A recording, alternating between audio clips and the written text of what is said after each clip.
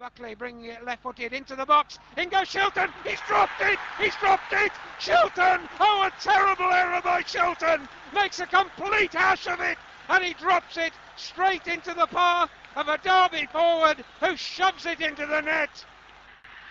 Davison for Derby, screws it right across. Here comes Clark. Oh, it drops again to Duncan. Duncan lines it back for Powell. Can Powell get the shot in? Comes square to Emery. Emery pushes it to Davis. Davis out to Langan. Langan brings it back. It's waiting, and Duncan scored. Duncan's headed in the second one. Incredible! Forest all over the show. Forest absolutely chaos, and Derby are two ahead. And as I speak, Emery's through, and he's scored! Emery clean through! Forest are in absolute ruins, and Derby County are three up. And manager Brian Clough, I've never seen such an expression of disgust on his face.